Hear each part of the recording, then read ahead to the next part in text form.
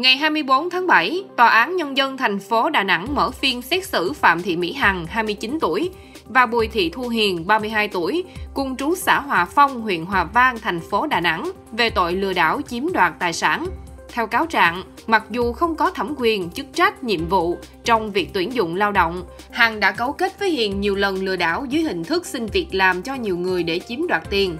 Cụ thể, ngày 6 tháng 3 năm 2020, Hiền hứa với bà Hà, 60 tuổi, trú Nghệ An, xin cho con ruột của bà vào làm việc tại sân bay quốc tế Đà Nẵng, rồi chiếm đoạt 90 triệu đồng.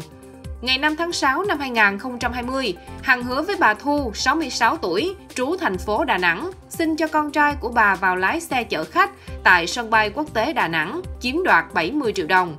Cùng thủ đoạn, Hằng và Hiền hứa với bà Bích Hà, 55 tuổi, trú Quảng Bình, xin cho chị con gái của bà vào làm việc tại sân bay quốc tế Đà Nẵng, sân bay Tân Sơn Nhất và sân bay Đồng Hới, chiếm đoạt 769 triệu đồng. Cáo trạng của Viện Kiểm sát Nhân dân thành phố Đà Nẵng kết luận, Hằng với Hiền đã chiếm đoạt tài sản của nhiều người tổng số tiền hơn 1,9 tỷ đồng. Hội đồng xét xử Tòa án Nhân dân thành phố Đà Nẵng tuyên phạt Phạm Thị Mỹ Hằng mức án 12 năm tù và Bùi Thị Thu Hiền mức án 7 năm 6 tháng tù, cùng về tội lừa đảo chiếm đoạt tài sản. Ngày 24 tháng 7, lãnh đạo Công an tỉnh Quảng Nam cho biết, vừa qua nhiều người dân bị các đối tượng dẫn dụ cài đặt các app vay tiền nhanh để vay tiền với lãi suất cao. Cụ thể, từ tháng 12 năm 2020 đến nay, nhóm đối tượng người Trung Quốc chủ mưu cấu kết với các đối tượng người Việt Nam sử dụng nhiều pháp nhân thương mại ma để tổ chức hoạt động cho vay lãi nặng. Thông qua ứng dụng Rich Vay, các đối tượng đã cho hơn 1 triệu người vay với lãi suất hơn 2.346% một năm.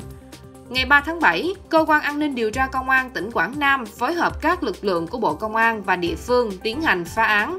Kết quả đã làm rõ phương thức thủ đoạn hoạt động và hành vi của các đối tượng có liên quan, triệt phá đường dây tội phạm hoạt động có tổ chức xuyên quốc gia, gồm nhiều băng nhóm hoạt động dưới sự quản lý điều hành của 11 đối tượng cầm đầu.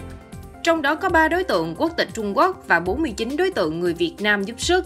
Tổng số tiền các đối tượng phạm tội thông qua các công ty trung gian thanh toán để cho vay nặng lãi tính đến thời điểm bắt giữ là 20.000 tỷ đồng, thu lợi bất chính trên 8.000 tỷ đồng, tổ chức rửa tiền và chuyển tiền ra khỏi Việt Nam trên 5.000 tỷ đồng. Hiện cơ quan an ninh điều tra công an tỉnh Quảng Nam đã ra quyết định khởi tố vụ án cho vay lãi nặng trong giao dịch dân sự, cưỡng đoạt tài sản, vận chuyển trái phép hàng hóa tiền tệ qua biên giới, đồng thời ra quyết định khởi tố bị can, bắt bị can tạm giam đối với 45 đối tượng có hành vi phạm tội liên quan và đã được Viện Kiểm sát Nhân dân tỉnh Quảng Nam phê chuẩn. Chiều ngày 24 tháng 7, luật sư Hà Mạnh Huy, đoàn luật sư thành phố Hà Nội, là một trong ba luật sư bào chữa cho bị cáo Phạm Trung Kiên, cựu thư ký Thứ trưởng Bộ Y tế cho biết, chị gái của bị cáo này vừa nộp thêm 7 tỷ đồng để khắc phục hậu quả của vụ án trong vụ án chuyến bay giải cứu. Trước đó, trong phần luận tội, đại diện Viện Kiểm sát đề nghị tòa tuyên phạt bị cáo Kiên tử hình về tội nhận hối lộ. Bị cáo Kiên cũng là một trong những bị cáo có số lần nhận hối lộ nhiều nhất với 253 lần, tổng số tiền 42,6 tỷ đồng. Theo hồ sơ, bị cáo Phạm Trung Kiên trong quá trình thực hiện nhiệm vụ đã lợi dụng là thư ký Thứ trưởng Bộ Y tế để buộc các doanh nghiệp muốn cấp phép các chuyến bay giải cứu phải chi tiền cho mình. Diễn biến phiên xét xử vừa qua cho thấy, nhiều bị cáo là đại diện doanh nghiệp đưa hối lộ tố cáo bị cáo Kiên ép buộc họ chi từ 100 đến 150 triệu đồng một lần cấp phép chuyến bay. Qua lời nói sau cùng, bị cáo Kiên nói mong được có cơ hội được sống để trở về với con cái, sống nốt quãng đời còn lại, xin được hưởng hình phạt tù có thời hạn.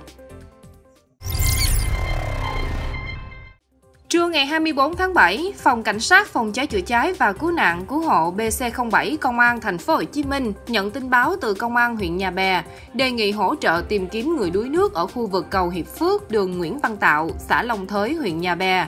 Nhận tin, phòng BC07 đã điều hai xe, một cano cùng 18 cán bộ chiến sĩ có mặt triển khai tìm kiếm. Sau một lúc, thợ lặn đã tìm thấy thi thể một em sinh năm 2009 và em còn lại sinh năm 2014 cùng ngụ huyện Nhà Bè, đưa lên bờ và bàn giao cho công an địa phương. Ngày 24 tháng 7, Công an huyện Tân Trụ, Long An cho biết, khuya ngày 23 tháng 7, tổ tuần tra Công an huyện Tân Trụ làm nhiệm vụ phòng chống tội phạm trên địa bàn, Khi đến khu vực ngã ba cầu quay, lực lượng phát hiện nhóm gần 30 thanh thiếu niên chạy xe máy nẹt bô, cầm nhiều hung khí nghi chuẩn bị đi đánh nhau. Thấy công an chốt chặn đường, nhóm thanh niên tăng ga bỏ chạy. Công an đã bắt giữ được 10 thanh thiếu niên, thu giữ 7 dao và mã tấu tự chế, 7 chai thủy tinh chứa xăng. Ngày 24 tháng 7, lãnh đạo cơ quan cảnh sát điều tra công an tỉnh Quảng Nam xác nhận đã khởi tố vụ án khởi tố bị can để điều tra đối với ông Nguyễn Văn Thống, Chủ tịch Ủy ban Nhân dân xã Duy Hải, huyện Duy Xuyên, tỉnh Quảng Nam. Ông Nguyễn Văn Thống bị khởi tố để điều tra về hành vi giả mạo trong công tác, theo quy định của Bộ Luật Hình sự, đồng thời liên quan đến việc giả mạo để được cấp đất khi đền bù giải tỏa, tái định cư. Cơ quan Cảnh sát điều tra Công an tỉnh cũng đã đề nghị đình chỉ chức vụ đối với ông Thống. Cùng với đó, cơ quan cảnh sát điều tra cũng đang xem xét thêm hành vi lừa đảo đối với ông Nguyễn Văn Thống. Hiện ông Thống được cho tại ngoại. Thời gian qua, trên địa bàn xã Duy Hải phát sinh nhiều vướng mắc liên quan đến đền bù giải tỏa, tái định cư đối với một số dự án trọng điểm.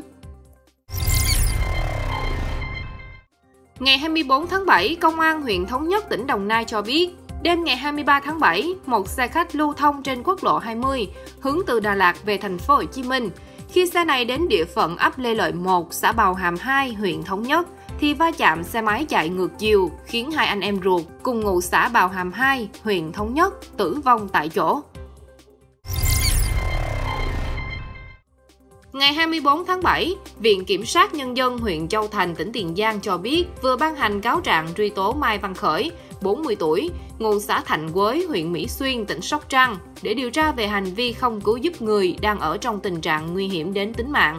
Theo đó, lúc 0 giờ ngày 2 tháng 2, gia đình ông Lê Văn Nhanh, quê tỉnh An Giang, thuê xe khách 16 chỗ, chở về Đồng Nai. Xe có 12 người, trong đó có 11 khách và tài xế. Khi xe đến cao tốc thành phố Hồ Chí Minh Trung Lương thuộc địa phận huyện Châu Thành tỉnh Tiền Giang thì xảy ra va chạm với xe đầu kéo do tài xế Khởi điều khiển chạy cùng chiều phía trước.